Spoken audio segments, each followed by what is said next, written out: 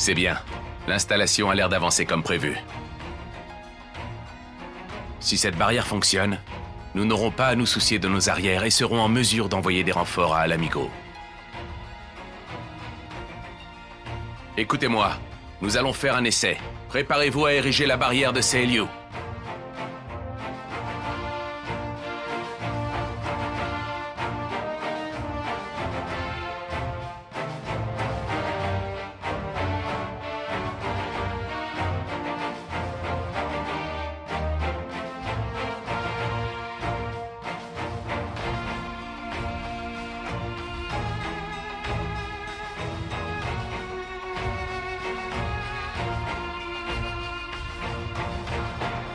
Le premier générateur est à puissance nominale.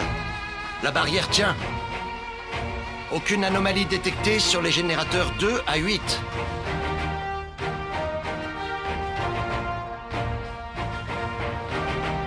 Le champ de force monte en puissance.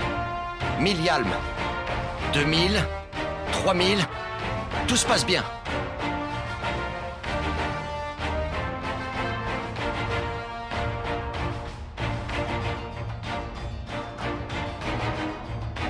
4000, 5000 yalms.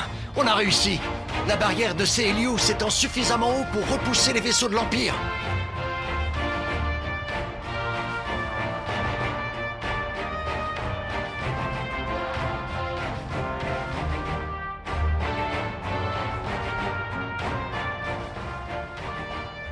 Un aéronef? Il fallait que les Garlemaldais nous tombent dessus maintenant. Ne t'alarme pas. J'y vois une opportunité inespérée de tester l'efficacité de notre barrière.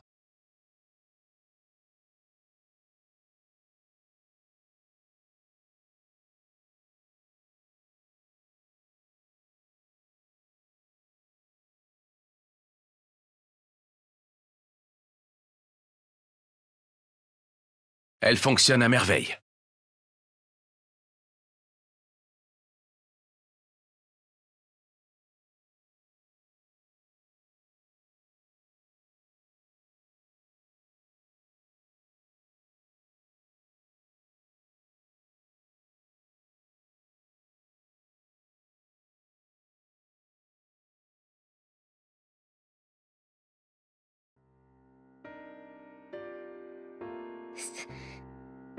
C'est Alfino Lâche-moi! Qu'est-ce que tu fais? Alfino Il... Abaissez la barrière.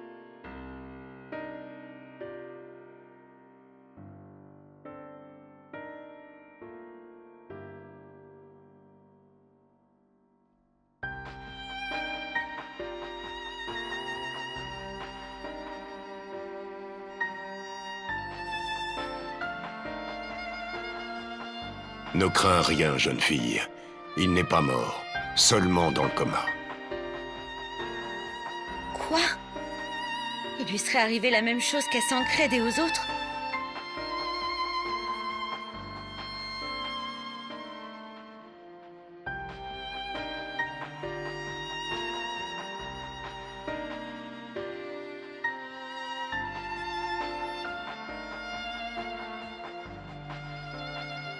Mal qui l'afflige m'est inconnu.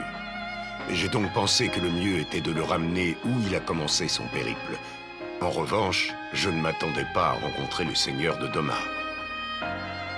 Sans parler de toi, nos retrouvailles devaient être prédestinées. Voilà bien longtemps que l'on s'était vu, aventurière. Ou devrais-je dire, guerrière de la lumière.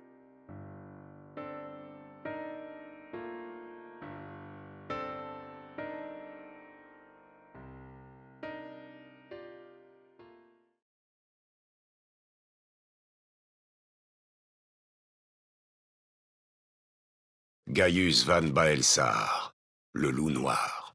C'est du passé tout ça. Maintenant que je n'appartiens plus à l'armée de Garlemald, je ne suis que Gaius Baelsar.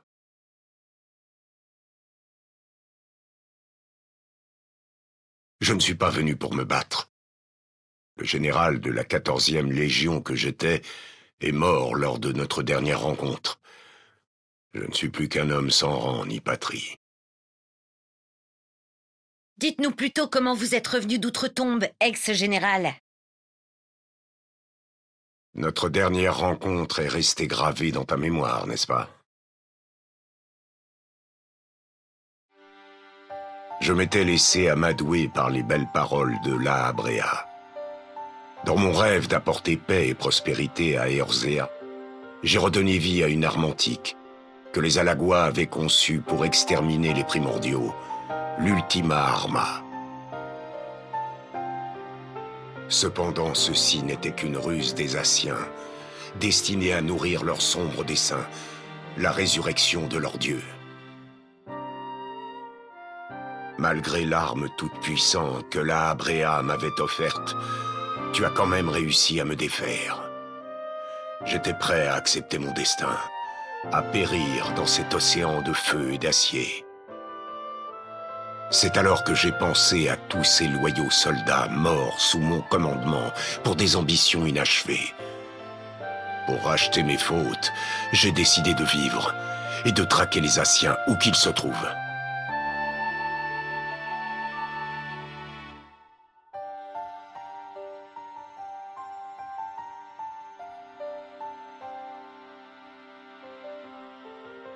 Voilà tout ce qu'il reste du loup noir. Je ne pourrai jamais réintégrer ma patrie. Ma nouvelle vie a été placée sous le signe de la vengeance.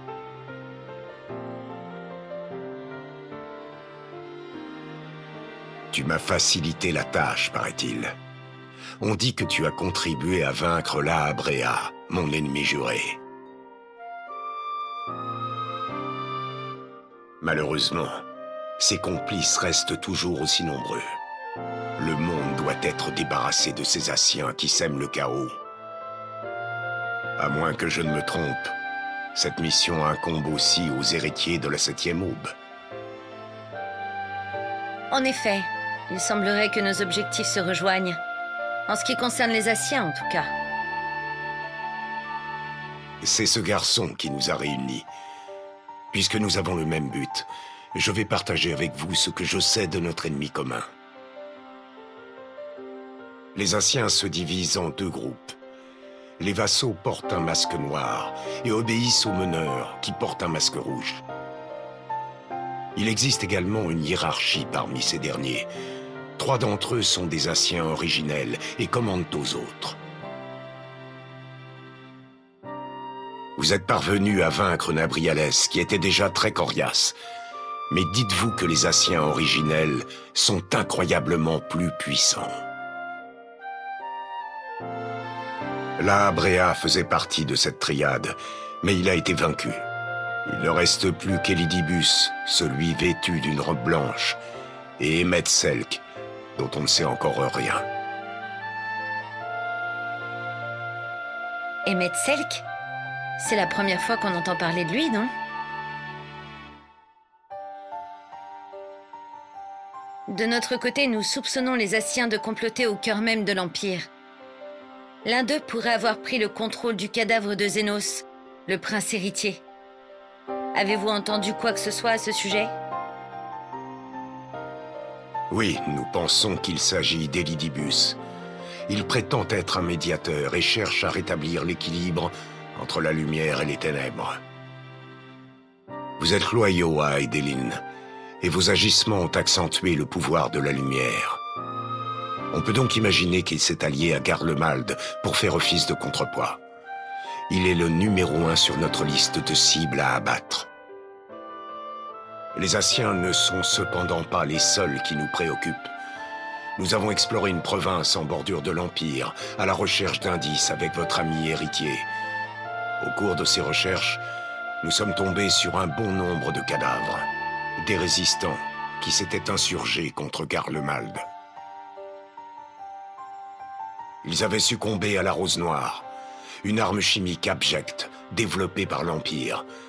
J'avais par le passé catégoriquement refusé d'y avoir recours et même ordonné que tous les stocks soient détruits. Une arme chimique? Ça doit être celle dont parlait Maxima. Celle qui a exterminé une rébellion en l'espace d'une nuit. Elle fera un carnage s'ils l'utilisent lors de leur assaut sur Alamigo. Rassurez-vous, nous avons infiltré l'usine où elle était fabriquée avec votre ami. Les réserves ont été détruites, ainsi que les moyens de production. Garlemald reconstruira à coup sûr, mais la menace est écartée pour le moment. Néanmoins, nous avons fait une troublante découverte là-bas. La date apposée à l'ordre de synthèse de la rose noire était très récente et suivie de cette signature, Xenosiae Galvus.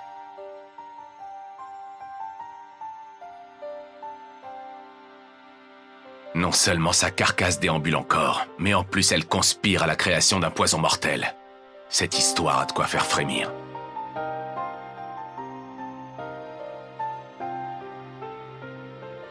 En effet.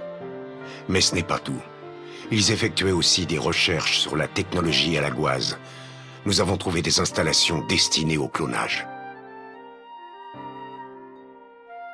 C'est ça qui m'a le plus répugné, quand j'ai posé les yeux sur les rangées d'incubateurs. Les corps qu'ils contenaient avaient tous le même visage, celui de Solus, le père fondateur de l'Empire. Ses traits étaient plus jeunes, mais c'était bien lui.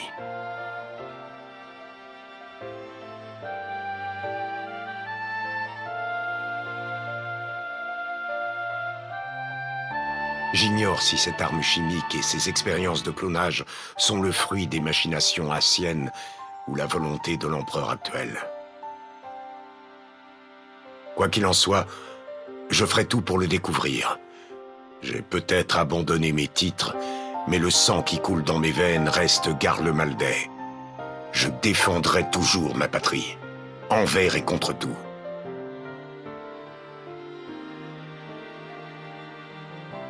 Voilà pourquoi je vais vous quitter et reprendre ma chasse. Les Asiens sont nos ennemis communs, aventurières. Nous n'avons plus rien à gagner à nous affronter. Mon frère vous doit la vie. Ce n'est pas moi qui décide. Mais je ne m'opposerai pas à votre départ.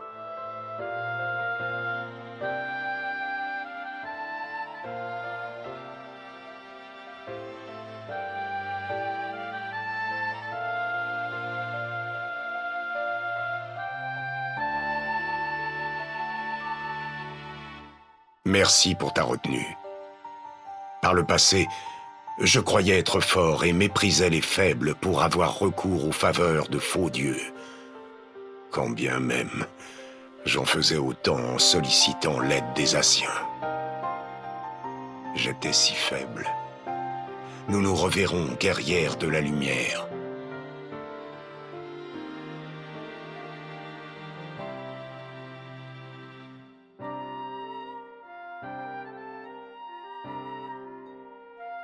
Alors c'est lui qu'on appelait le loup noir. Sa réputation de combattant le précède. Mais je ne pensais pas que son aide puisse se révéler si précieuse.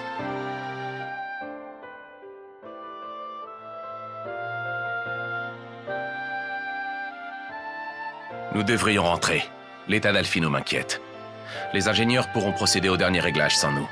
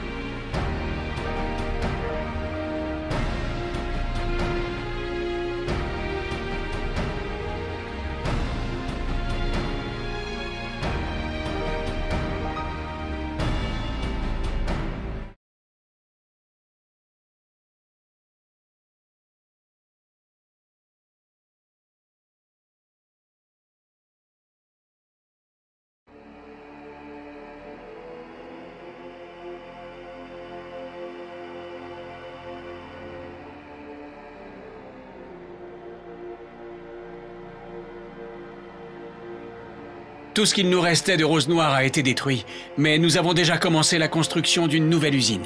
Nous faisons tout afin d'être dans les temps et prêts pour la prochaine opération, Votre Majesté. Que faites-vous encore ici, alors?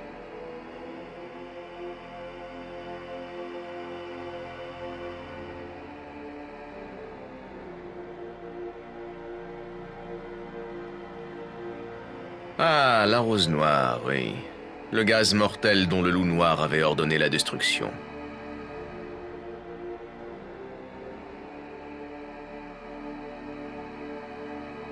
Voilà une stratégie digne de mon descendant, simple et efficace. Tu vois quand tu veux, Varys.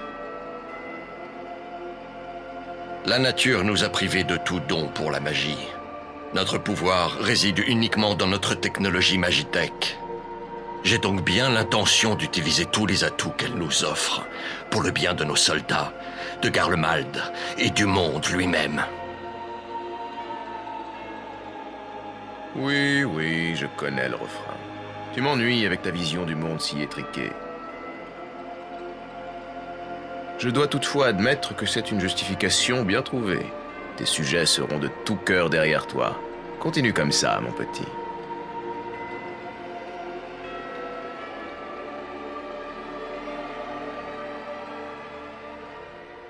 Une arme qui répand un poison mortel, qui tue en silence. Hmm. Depuis le déluge de lumière là-bas, des effets commencent à se faire sentir ici aussi. Je me demande si cette synergie pourrait engendrer une métamorphose. Bon, je te laisse à ta guerre. Amuse-toi bien.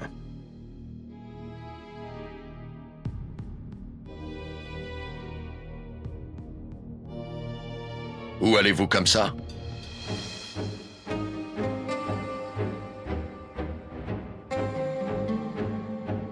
La réponse me paraît pourtant évidente. Tu t'adresses à un Assien. Vous n'œuvrez que pour provoquer un nouveau fléau. Je le sais pertinemment. Je crains simplement que vos actes inconsidérés mettent l'Empire en danger.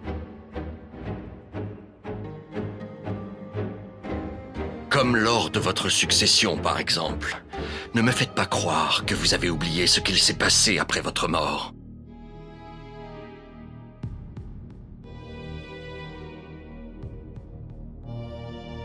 Vous n'aviez pas désigné d'héritier, le trône est resté vacant, et la guerre de succession qui a suivi a bien failli signer la fin de Garlemald.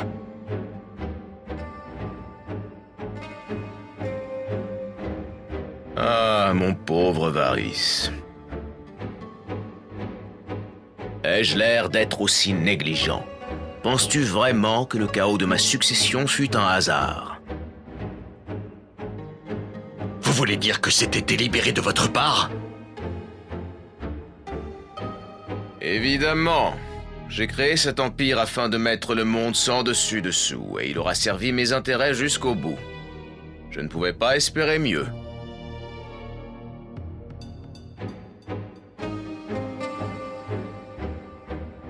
Bien, la discussion est close, on dirait. Je sors, pas la peine de m'attendre.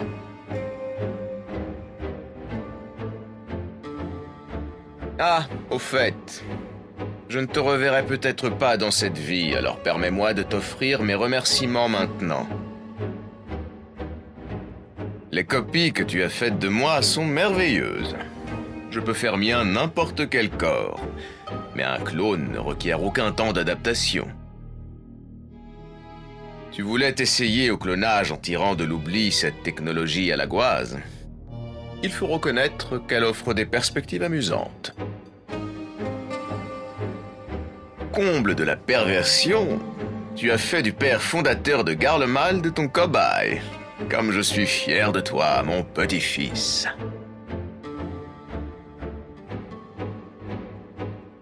En jouant nos cartes comme il le faut, nous pourrons accomplir de grandes choses ensemble, en famille. Nous allons briser les faux semblants de cette réalité, toi en œuvrant ici et moi en voyageant vers cet autre monde pathétique.